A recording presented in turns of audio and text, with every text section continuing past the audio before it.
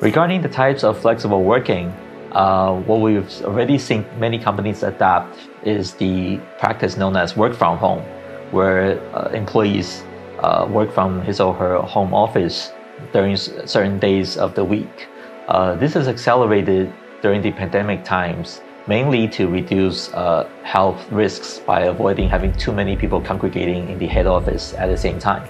Uh, what we're seeing emerging is a trend we call work near home, uh, where companies work with third party professional workspace providers to give employees the option to work in a professional uh, facility uh, and allow them to possibly be more productive uh, during their work days.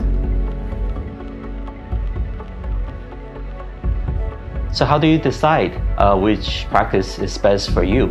Um, we strongly recommend that you collaborate internally and speak with the head of each department and understand their real needs.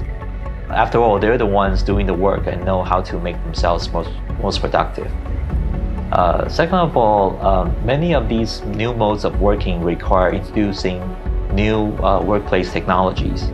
Uh, they can be challenging too. So uh, we recommend that you collaborate with a professional integrator who has already uh, done the work for major clients, and they can help you guide the way and uh, introduce to you the best practices and uh, uh, help you avoid possible pitfalls and make your flexible working a real success.